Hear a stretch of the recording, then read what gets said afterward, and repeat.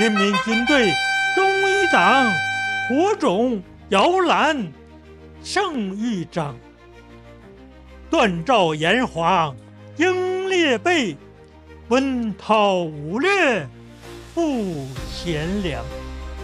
我我们是战争的幸存者，是和平时期的幸福人，不能忘记先烈，不能忘记历史，忘记他们就背叛了。所以说，我们今天过着这样幸福的生活，几十年的和平环境，没有他们，没有先烈们，我们今天做不到的。大量的平凡的战士，没有立功那些战士，啊，都做出了贡献。嗯，他虽然没有牺牲，他也做好了牺牲的准备。我就说，这个，嗯，遗书，这个。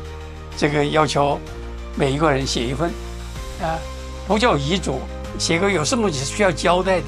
嗯，对，打仗之前两份，一份是请战书，一份是遗书。到下一次作战还要写。我们作为中国地区人，就是要具有高度的信仰，完成祖国人民所交代的一切任务，留下牺牲。不芯片换来了中国人民和平生活，奔小康。在我们心中，您就是英雄。哎，那不能那么说。我说不是谦虚，活着的应该说是沾着我们烈士的光了。哎，这个事迹是他们打，是他们创造。的。活着呢，只能给他们诉说。